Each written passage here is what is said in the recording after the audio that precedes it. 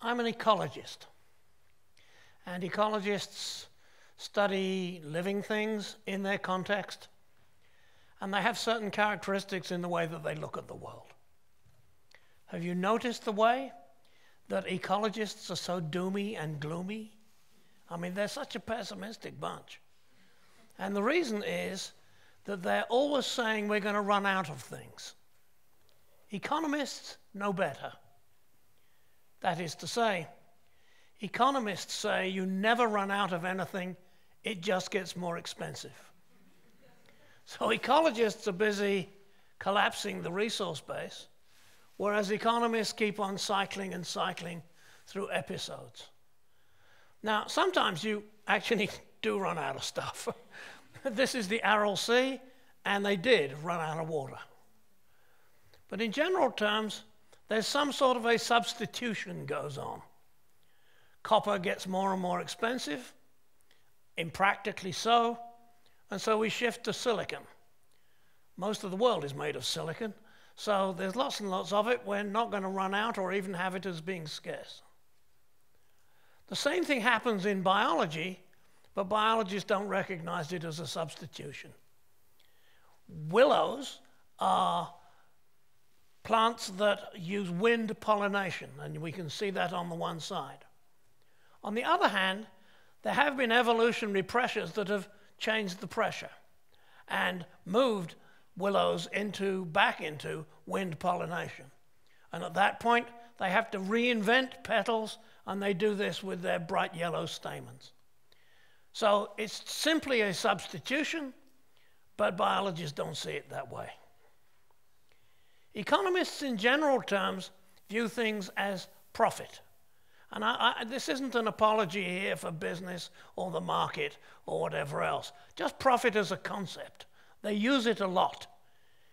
Despite the fact that ecologists are talking about resources being used, they never talk about profit. I don't know why, but they never do. Now, I want to tell you a story about my lab and how it works. Before I retired, I used to have my graduate students come out to intellectual mud wrestling matches, sometimes at my, sometimes at my uh, home, uh, but other times at my lab. It's the same group of people there, and you can see we're eating in both cases. I would go down to the Plants and Man lab where there was a stove, and I would cook lunch for about 20, 30 people. Um, we can see then that the resource comes from my garden. And the students go out and gather it. And you can see they're gathering uh, tomatoes. And enormous quantities of tomatoes is, is the deal. So tomatoes are abundant and we waste them.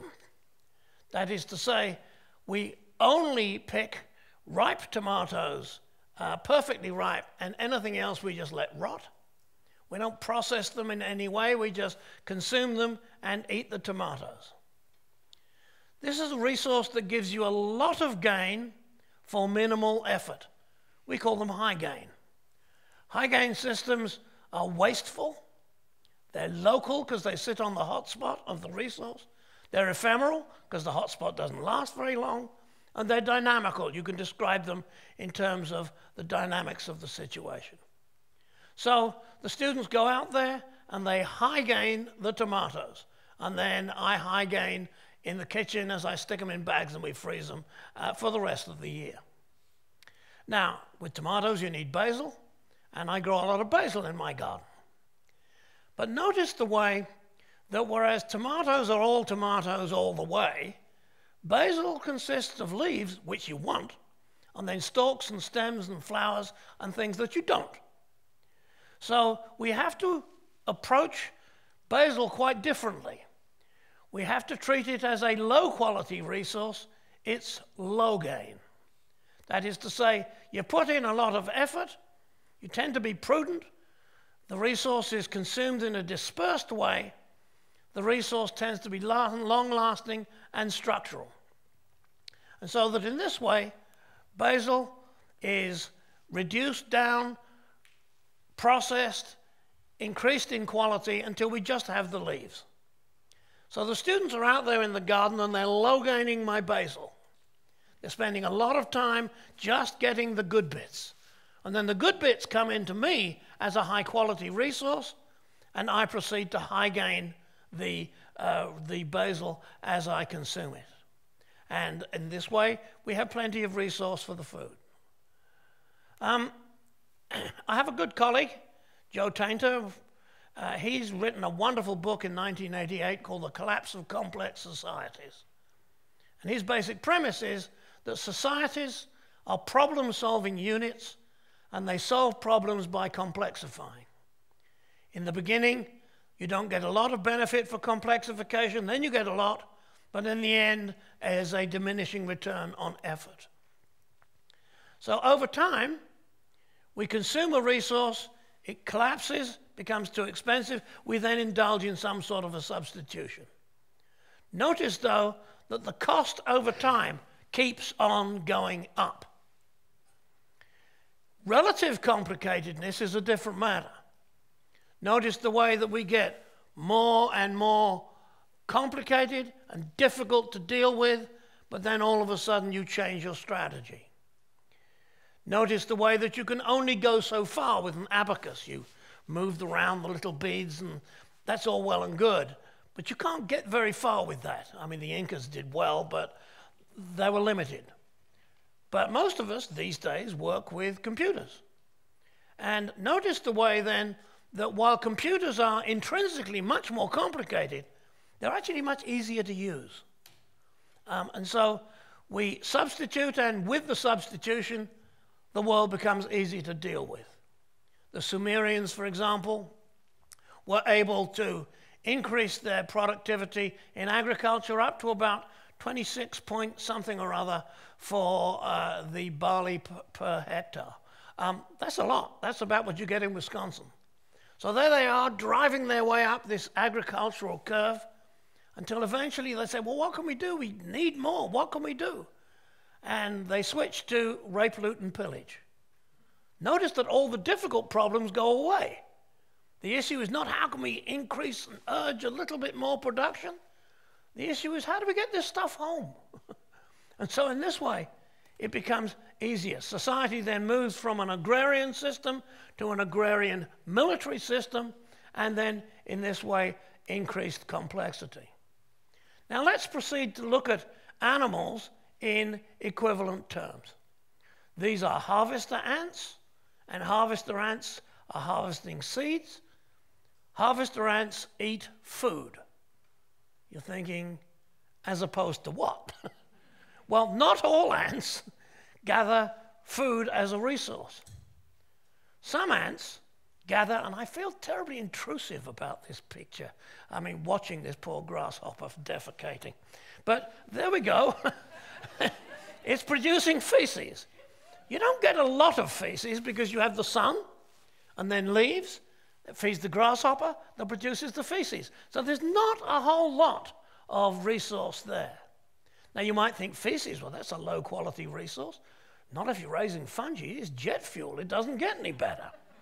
And so, in this way, they gather the resource, have special strains of fungi, and the fungi then um, uh, generate fungal biomass, which these ants then proceed to eat.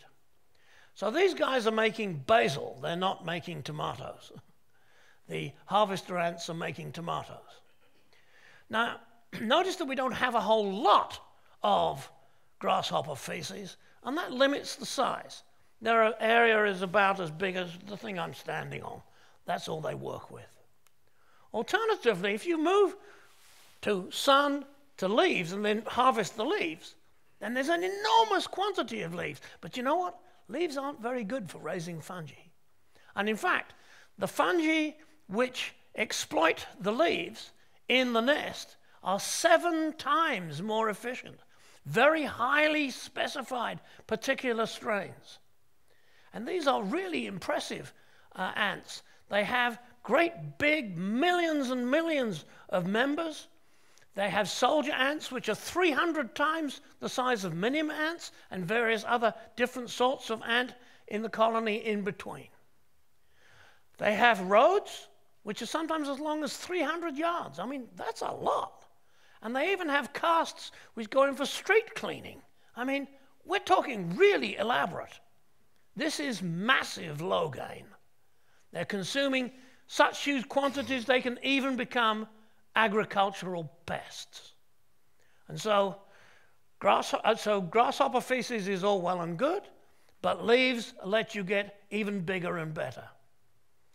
Now, another colonial insect are termites, a completely separate group deriving from cockroaches. And these can be plotted on a space here. And we can, first of all, the red ball are termites that live in wood.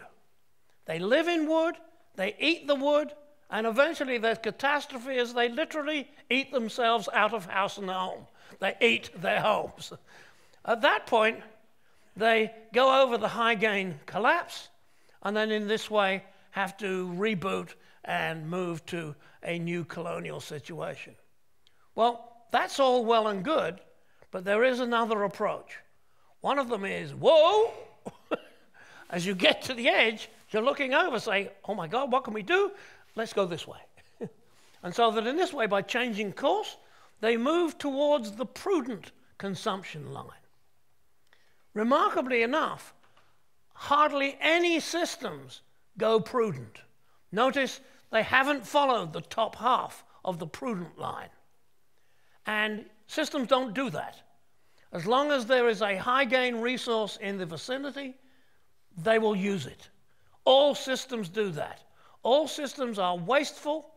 For example, you'd think in these times of expensive and difficult fuel, you'd reckon we'd conserve gas. If you take a picture of the United States out in Minnesota and South Dakota, you can see a glow. And that glow is just gas being blown off and wasted. We never look after our resource. But once you've got to this prudent use, then all of a sudden, instead of living in your food, you live in an area where you move out to get the food and bring it back in again dead twigs, little branches, and so forth. It's a low gain system, so there's lots of resource. There's so much resource that 10% of the methane in our atmosphere comes from those guys. I mean, it's impressive. They're really big and low gain. You know what's really exciting? It doesn't stop there. There's 40% goodness in dead wood that you gather. There's still 5% goodness in soil. 65% of termite species, not biomass, but species, 65% of termite species eat soil. Whoa. it's not much resource there. But if you're clever and work hard enough and are low gain enough, you can still uh, get by on soil. Now, if you're a termite, you're sort of limited by the way that uh, termites are termites and there's only so much soil you can eat. Other organisms that live in soil actually represent most of the biomass on the planet. Bacteria are really good at living in soil, and they live in this huge mass of renewable resource as far as they're concerned. So that in this way, they never run out and form this absolute mass of material. Human societies do the same thing. Joe Tainter and I recently wrote a paper where we looked at the thermodynamics of ants as opposed to the Roman Empire. I've already talked to you about, uh, I've already talked to you about uh, the Roman roads, which atta ants use. Well, we ran this same comparison. Here is Caesar in the Roman Republic. He used to rape, loot, and pillage. There's a trouble with rape, loot, and pillage. You can only do it once. the trouble is, when you've raped and looted and pillaged, there's nothing left. And so that in this way, the Roman Republic did wonderfully well. They had a fund for orphans and widows, but in the end, they had to move to an empire. This is his nephew, Augustus, and Augustus is really low gaining. He moves away from taking gold. There's a lot of gold out there if you can get it, but eventually it runs out. So you have to move to peasants. There's not much in a peasant, but there's lots of them.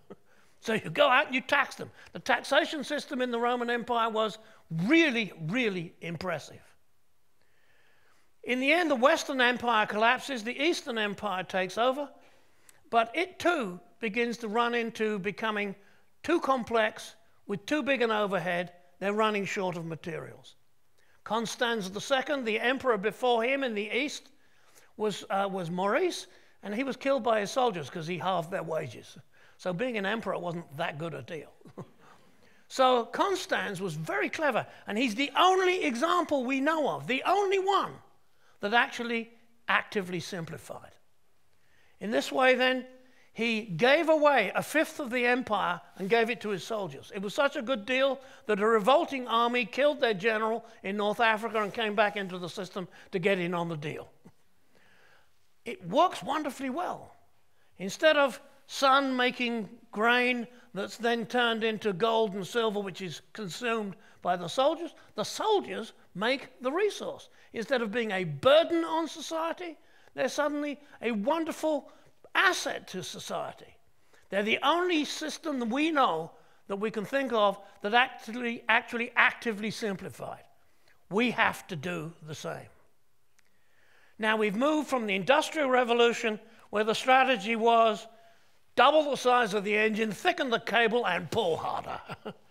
if the span is wider, just make a bigger bridge. Industrial systems were large, but not the systems we work with today. The systems we work with today get smaller and smaller. That's why rototillers and motor cars get more expensive and computers get cheaper. because there's an economy of size. Increased speed, but an economy of size. Now, can we uh, survive the difficulties we're under now? A lot of people in society are pretty angry about this in this election, on the left and the right. And so we're getting pressured, so what can we do? Well, the Romans knew about coal and they knew about steam engines, but they killed the guy who invented the steam engine and did so because it was going to undermine the slave economy. They had an industrial option, but they wouldn't go in that direction. So here we are. We have a very complicated society. The burden is absolutely huge. What we have to do is only things which are economical and worthwhile. Elon Musk is basically using oversized Victorian steam engines. You can't take the train to Mars, even if the train is going 20,000 miles an hour. There are physical limits. Millions of miles are things we simply can't handle. And so we have to not make the mistake of the Romans, but go with our future which involves getting simpler and more efficient, and eventually, we hope, getting into some sort of new pattern. But it will be fundamentally different. Thank you for your attention.